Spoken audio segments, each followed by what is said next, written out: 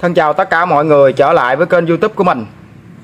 Thì à, ngày hôm nay mình à, có à, nhận được bốn cái viên pin này nè mọi người. Pin này là không biết là pin nằm ở đâu nữa Nhưng mà đây là do một cái người bạn của mình đó Là nhờ mình kiểm tra coi những viên pin này xài còn được hay là không. Để mà anh ta đó là, là, là làm cái công việc khác xài quạt xài gì á.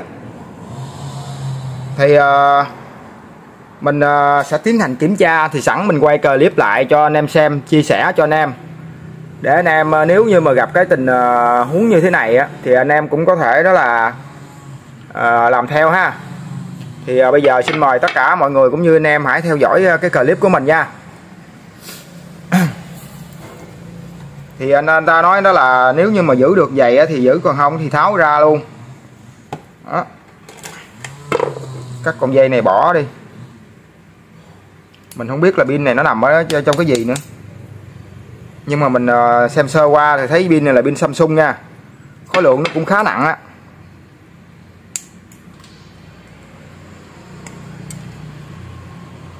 Cực này là cực ờ, dương nha mọi người.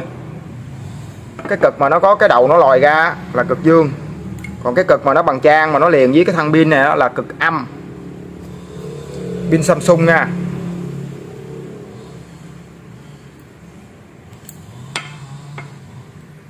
Để mà kiểm tra mà mà cái độ mà mà mà, mà chính xác của nó thì mọi người nên ờ, mình khuyên mọi người nên tháo ra hết luôn ha.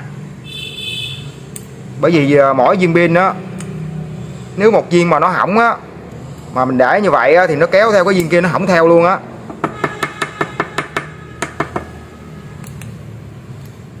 Ừ. Thôi mình tháo ra hết đi rồi mình sẽ kiểm tra một lượt.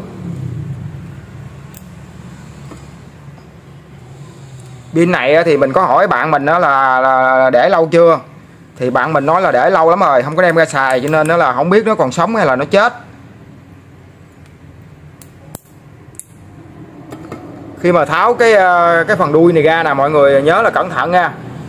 Tháo ra là để coi chừng là nó bị là gách chỗ này là nó hư luôn á. Hai viên. Ở đâu mà có bốn viên pin này nữa không biết nữa. Trong cái thiết bị gì á. Cục sạc dự phòng thì nó cũng không có xài pin này. Sạc dự phòng thường đó là trong cục sạc dự phòng á, là mấy viên pin của ờ, cục sạc dự phòng đó mọi người. Là nó đa số là nó không có để cái thương hiệu pin. Mà cũng không biết có đâu có biết chừng nữa, chứ là mơ trong cục sạc dự phòng của con Samsung rồi sao? Rồi thôi nói chung là mình à, kiểm tra pin này đi. Pin này nó có à, cái à, tên là 18650 ha. Thương hiệu là của Samsung. À, đây là cái chữ Samsung nó để nè. Đó. Samsung nè.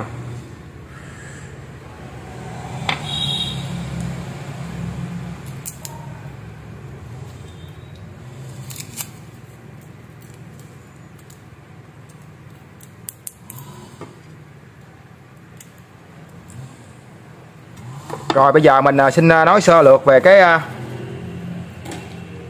cái loại pin này nha mọi người. Cái loại pin này thì cái tầm hoạt động của nó là bắt buộc nó phải nằm từ đó là 3,2 cho đến 4,2V có nghĩa là cái cái điện tích của nó đó cái điện áp của nó là từ 3,2 cho tới 4,2V thì mọi người xài được nha. Còn nếu như mà nó thấp hơn thì là nó không có xài được là chúng ta phải sạc đó còn nếu như mà nó dưới mà 2,5V thì chúng ta bắt buộc phải đi kích nó lên nha kích pin lên lại. Và cái độ bền của nó là nó sẽ phụ thuộc vào một cái đó là đại lượng ta gọi là cái à, cái cái cái nội chở của nó. Nội chở của gì? Là mình nói nôm na như thế này nè. Nội chở chính là cái độ bền của nó đó. Coi nó còn bền nó còn cầm điện được hay là không? Ha nội chở. Còn cái thứ hai nữa là cái nó quan trọng nữa là cái dung lượng của nó. Nó nó, nó chứa được bao nhiêu dung lượng? Sạc xả. Ha nội chở mà nó càng thấp á, thì cái chất lượng nó càng tốt. Nội chở mà nó càng đó là là là, là, là lớn á, thì cái chất lượng pin nó là nó sẽ xuống thấp. Bây giờ thì mình sẽ đi kiểm tra cái điện áp nó trước. Nó có hai cái mình vừa nói đó. Thì bây giờ mình đi kiểm tra nó điện áp nó bằng cái đồng hồ. Thì à, để mà kiểm tra nó thì chỉ có cái đồng hồ thôi mọi người chứ không có cái gì khác hết trơn ở đây mình có rất là nhiều pin luôn. Làm điện tử này sửa điện tử mà mà mà mà, mà cơ bản này bắt buộc chúng ta phải có cái lò pin.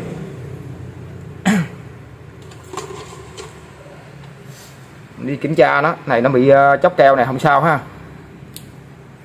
Thì uh, cái đầu dương của nó đó là cái cực dương của nó cực dương của dương bên đó là mình nó là đây nè. Là cái đầu nó lòi ra như thế này nè mọi người. Cực này là cực âm. Là nó nó nói liền luôn với cái uh, nó nói liền luôn với cái ờ, thân pin á. Cho nên mọi người đo mọi người để đây cũng được cái nè. Nó nói liền với thân cho nên mọi người để cực cực cực cực, cực âm nè. Của cái dây đồng hồ nè. Đặt vào đây nè đó, đó. 3,2V thấy mọi người thấy không? 3,2V nè. 3,2V như vậy là còn xài được nha mọi người. Pin này còn xài được. Với một cái ờ, cái tính chất đó là mà bạn mà nói là để lâu lắm rồi nhưng mà à, bây giờ mình đo lại nè. Ồ viên này có 2,4 2,5V nè. Thấy chưa? Viên này là thấp rồi nè mình để qua một bên ha thấp để qua bên này. Viên nào thấp quá là mình phải à, coi lại nó. 3,29V xài còn được nha mọi người. 3,22V như vậy là có một viên pin là rõ ràng là nó đã bị uh, có vấn đề ha viên này. Ấy da. Để qua một bên đi. Ấy nó cũng 3,2V nữa mọi người ơi. 3,27 ừ, vậy là tại mình rồi nãy mình đo là mình ờ, để để đầy đặt không sát. Rồi như vậy là bốn viên này á. Đầu tiên là cái điện áp nó còn ok ha. Điện áp nó là còn ok. Rồi bây giờ mình sẽ đi kiểm tra cái nồi chở của nó. Thì chúng ta bắt buộc chúng ta cũng phải có một cái thiết bị nữa. Ở đây thì mình có cái, ờ, cái thiết bị đó là cái ờ, đồng hồ Litocala dùng để sạc pin và kiểm tra pin. Thì cái này chúng ta cần phải cấp điện DC 12V cho nó. DC 12V cho nó. Nó nằm ở phía sau này nè. Đó. cấp điện DC 12V vô đây. Thì mình đã chuẩn bị bị sẵn rồi. Đây là điện 12V ha. Cấp vô.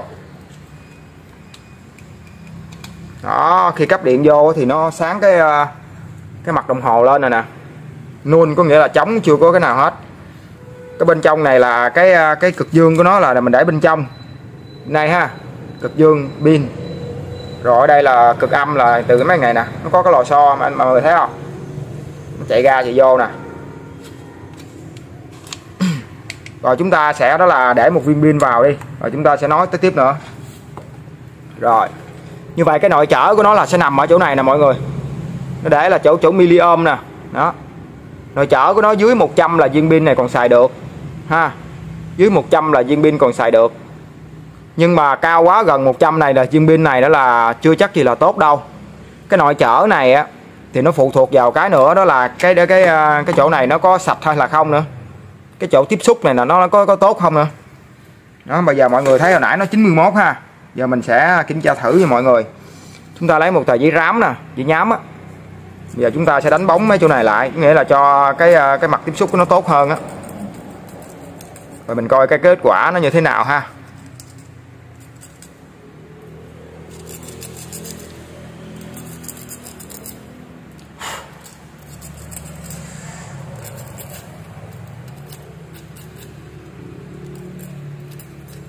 Rồi bây giờ mình sẽ đặt vào. Ờ, nó lên 99 luôn à. Nãy 91 giờ lên 99 gần 100 luôn à. Mình à, à, cho nó vô cái khe thứ hai coi. Nó có sự khác biệt không? 75 nội chỏ này còn hơi cao nha cho nên là những viên pin này là xài được nhưng mà 81 70 ờ, ấy. Như vậy là nó trên 70 nha mọi người. Chở là này rồi 99 luôn á. 88 đó, nó chở nó không ổn định nha. Thì cái máy này đó thì trăm luôn à. Rồi. Rồi, bây giờ đó là mình à, biết là cái viên pin này nó đã à, 89 rồi. Nó nằm ở cái mức này thì à, cái độ mà bền của nó thì nó cũng không có cao cho lắm như vậy là mình hãy nhìn những cái chỉ số nè trong cái, trong một cái cái máy sạc này nó có những chức năng gì? Cái thứ nhất, đó là sạc pin là chế độ là chạc nè, chạc nghĩa là sạc. Mình nhấn giữ cái thằng này. Khi mình nó nhấp nháy nè, mình khờ rên nè. Đây là thay đổi cái à, cái độ, cái chế độ sạc của nó. Mà mọi người thấy là nhắn nó sẽ đi vô đây là nó 1000 mAh 300 500 700 và 1000 nó có bốn chức năng, chế độ. Còn mình nhắn ở đây một cái, fast test có nghĩa là nó sẽ kiểm tra pin mình coi dung lượng nó là bao, nó chứa được bao nhiêu. Ha. Thì nó, cách kiểm tra của nó là đầu tiên là nó xả này mà mọi người thấy nó xả không? Nó xả xuống cho cạn pin. Cạn xong rồi bắt đầu nó sạc đầy lại và nó sẽ tính toán. Bây giờ hiện giờ nó đang xả nè. Đó, nó đang xả, bây giờ nó đang sạc lại nè. Sau khi sạc lại nó tính toán. Lý do là cái nội chở chúng ta cao quá cho nên cái viên pin này á, nó xả nhanh và nó sạc vô nó cũng nhanh nữa viên pin này không có được tốt nha. Đấy mình sẽ kiểm tra viên pin thứ hai.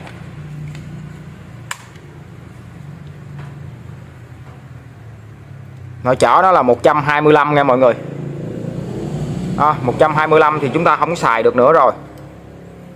À, viên pin này cho dù nó còn cái dung lượng nhưng mà nội chở như thế này là rất cao rồi ha. 89 rồi nè. Không phải. Đó số 2 để xa ra tí rồi. 83 nó cũng giống như kia vậy. Nó trên nó là 100 rồi, nó trên nó là 70 rồi. 83 còn xài được. 83 là chuẩn luôn đó mọi người ơi. Để vô này coi. 89 rồi. Phải 89 là đây nè. 125 thằng này thì luôn luôn luôn 125 tại sao nó lại như vậy? Lý do là tại vì cái chỗ tiếp xúc của à, hai cái thằng này nè, quan trọng là chỗ tiếp xúc của cái cái khe thứ hai này nè, chứ không phải là tại viên pin. Ha, để vô đây thì nó sẽ tám mấy nè. Đó 83 đúng luôn ha. Này thì à, 89 này 83 đó. mình vệ sinh cái chỗ này lại, cho nó tiếp xúc tốt hơn. Có sự trên lệch là lý do là như vậy đó mọi người đó thấy chưa? Sau khi vệ sinh xong nó còn 75 nè thấy không? Thì mình ở chế độ là fast test đi. Cho nó xả trước. Ha. Đó, cho nên đó là mình xài là một thời gian thì những cái chỗ tiếp xúc này nè nó bị ờ, uh, ten reset cho nên là chúng ta phải vệ sinh nó lại thôi. Vệ sinh lại thì nó sẽ tốt hơn. Đang xả nè. Rồi viên pin thứ ba nha. Ờ, rồi 68 viên pin này thì tương đối là ok ha. Mình uh, chơi phát test luôn. Rồi. 68 là trung bình xài được nha mọi người. Còn xài được rất là tốt nha. Ờ, rồi 89 đó bây giờ mình vệ sinh lại một cái nữa coi. Vệ sinh lại cái thằng à, thằng này cái coi. Nó 89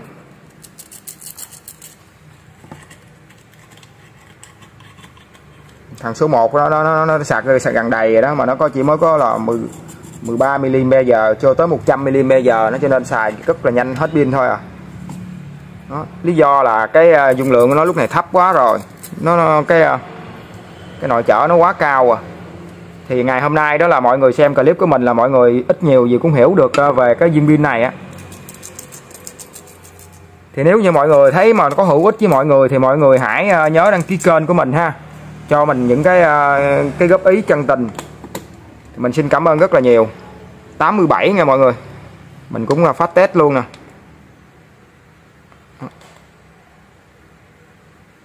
Nó xả xuống 2 2 2,8 bắt đầu nó, nó tăng lên lại nè. Nó sạc bắt đầu từ 3,5 3,3 là đầu nó tính rồi nè. Đó, nó sạc vô. Nó xả xuống rồi. thì nó tăng lên lại.